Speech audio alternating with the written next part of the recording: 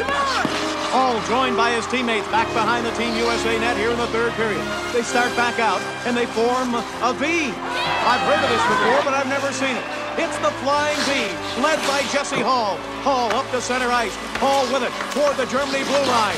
Hall back to Averman.